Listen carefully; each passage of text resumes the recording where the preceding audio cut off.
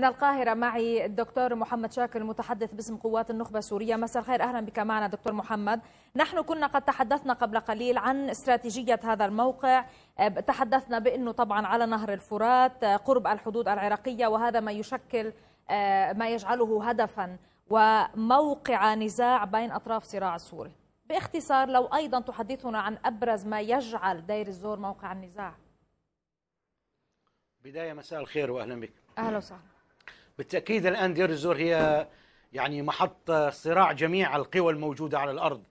لسبب وحيد أن يعني أهم هذه الأسباب هو أن الولايات المتحدة الأمريكية والتحالف الدولي نفسه إلى الآن لا يعرف ما الذي سيعمله في الرقة حتى يتكهن ما الذي سيعمله في دير الزور لذلك يعني حتى توقف العمليات في الرقة أو بطئها الآن يعني تدور في فلك من سيدير الرقة؟ لم يعني لم يتم حتى لم يتفق حتى هذه اللحظة من سيدو يعني من سيدير الرقة. يعني تعرف هناك استقطابات حادة بين العرب بين الكرد بين أيضا إقليمية سواء تركيا والخلافات مع الولايات المتحدة الأمريكية. الرقة لم تتبلور ودير طيب بموضوع دير الزور ما أكثر ما كدير الزور بعيدا عن الرقة كدير الزور ما الذي يجعلها بهذه الأهمية؟ كعناوين رئيسية وبداية استراتيجية أمريكا. نتحدث طبعا عن مغاوير الثورة وهذا التشكيل انطلاق المعركة من من الشدادي تفضل. طبعا أهمية دير الزور هي دير الزور أولا سلة الغذاء في سوريا. يعني الاقتصاد السوري يتركز في دير الزور. هي سلة الغذاء في سوريا وتوجد أيضا آبار النفط. نعم. يعني يعني حقل العمر وحده كان يأخذ أربع يضخ 450 ألف برميل باليوم. ما يقارب نصف مليون برميل. إذا تصبح مسألة دير الزور حيوية لجميع القوى. لذلك يبدو يبدو أن يعني القوى تحاول أو الولايات المتحدة الأمريكية تحاول أن تجد صيغة توافقية تتناسب مع العملية السياسية القادمة في سوريا. تعرف الآن نحن نمر الآن بمرحلة مناطق خفض التوتر يعني اتفاقيات خفض التوتر في عموم سوريا من أجل إقامة إدارات محلية. هذه الإدارات المحلية ستديرها المعارضة حسب يعني حسب أستانا وحسب الاتفاقيات التي جرت مؤخرا. لذلك ربما قد تدير المعارضة هذه آه، دير الزور وتختلف عن غيرها من أماكن الهدن بحيث يكون للنظام بما أننا نعمل من أجل عملية سياسية لعموم سوريا ربما سيكون له النظام يعني حصة اقتصادية وربما يكون للمعارضة أيضا حصة أمنية وإدارة محلية داخل المدينة.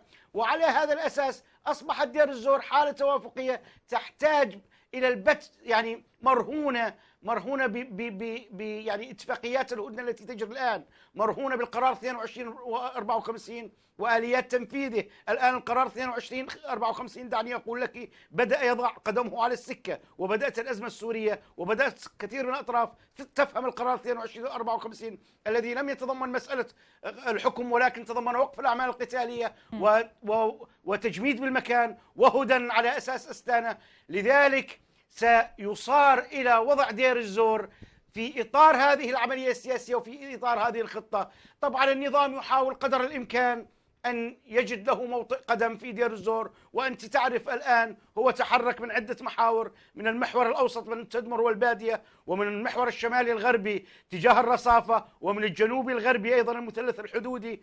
وأيضا في شرق شمال من عند بجنوب الحسكة إلى معدان. إذا يبدو أن عين النظام أيضا الأكثر تتجه نحو دير الزور.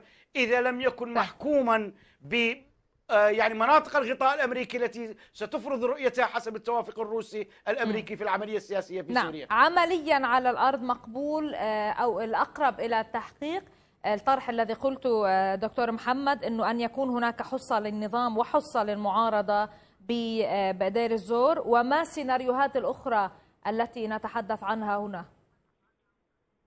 طبعا في هناك عدة سيناريوهات يعني الآن تعرف قوات النظام وصلت إلى السخنة.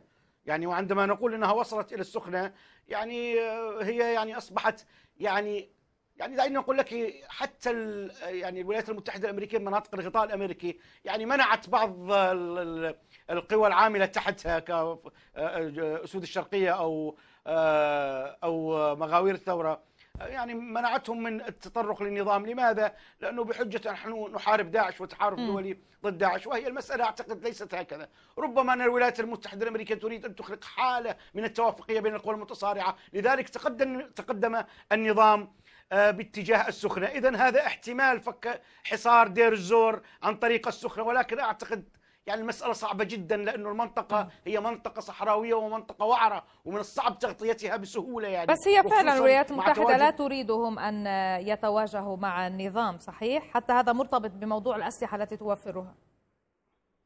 طبعا هو ما لا يريدون أن, أن, أن, أن يشتبكوا مع النظام لأسباب كثيرة يعني. الولايات المتحدة الأمريكية تدير الآن عملية سياسية ولا تدور عملية تدير عملية عسكرية فقط على الأرض. لذلك من مصلحتها أن يعني أن تقيم نوع من التوازن على الأرض يحقق ما تريده الولايات المتحدة أو التوافق الروسي الأمريكي في العملية السياسية. أما مسألة دخول النظام إلى دير الزور فأعتقد هي مسألة صعبة. لماذا؟ لأن هذا أيضا يهدد الاستراتيجية الأمريكية أو الرؤية الأمريكية في سوريا. لأنه إذا دخلت آه، آه، قوات النظام إلى دير الزور هذا يعني تحقق الكريدور الإيراني الممتد من العراق فالبوكمال دير الزور البادية فالمتوسط. وهذا يعني أمر يعني تعمل عليه الدولتان العظميان سوية سواء طيب. الولايات المتحدة أو روسيا ما يحدث تقليص الدور الإيراني. بدير الزور. شكرا لك. دكتور محمد شاكر متحدث باسم قوات نخبة سوريا من القاهرة. شكرا دكتور محمد.